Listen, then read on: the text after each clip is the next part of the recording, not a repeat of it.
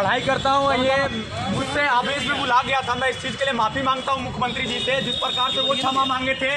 एक बड़ी बात बोलने के राज्यसभा में बड़ी बात बोल के क्षमा मांगे थे उस प्रकार से छात्र को भी न्याय मिलना चाहिए। मैं अपनी बात को वापस लेता हूँ। मैं आवेश में आके बोल गया था। क्या क्या बोले थे?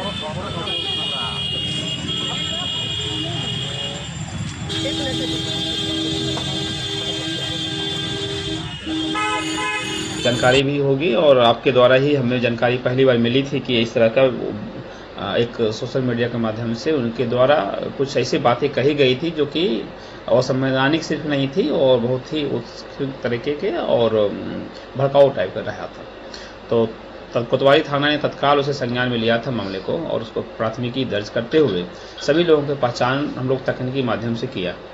पहचान के क्रम में दो लोग पहले ही गिरफ़्तार होकर के जेल जा चुके हैं। उनका भी हम लोग आप लोगों को बताया था। साथ में यह भी बताया था कि जो तीसरा व्यक्ति जो सबसे मुख्य है जिसके द्वारा ही मुख्य रूप से यह वीडियो बनाया गया था आ, उसके बारे में भी हम उनको अपडेट करेंगे। आज उसी के संबंध में आप यह जानकारी दे रहा हूँ कि विशेष चतुर्वेदी जो मूल रूप से सुधीर चतुर्वेदी एनटीपीसी बाढ़ के आसपास के निवासी हैं वो उनके द्वारा यह सब वीडियो बनाया गया था। उनकी आज रात में ही गिरफ्तारी उनकी हो पाई है। जी। क्या बताया सर गिरफ्तारी के बाद? उसने ऐसा। क्यों बोला? देखिए वो नया लड़का है अभी उम्र करीब 25 वर्ष के आसपास है। उनके एस्पिरेशंस अलग टाइप का है। और इसको आप यह कह सकते हैं कि कहीं कहीं गार्जियनशिप की कमी है ये।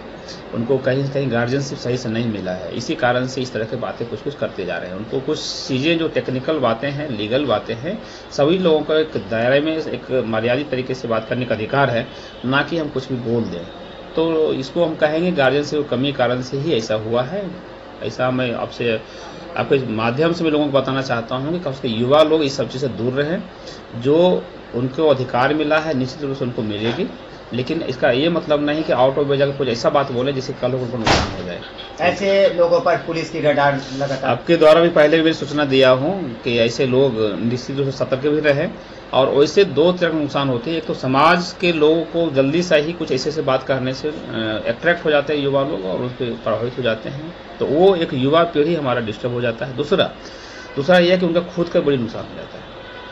तो निश्चित रूप से ऐसा बिल्कुल स्वीकार नहीं है। गिरफ़्तार युवक छात्र है क्या सर?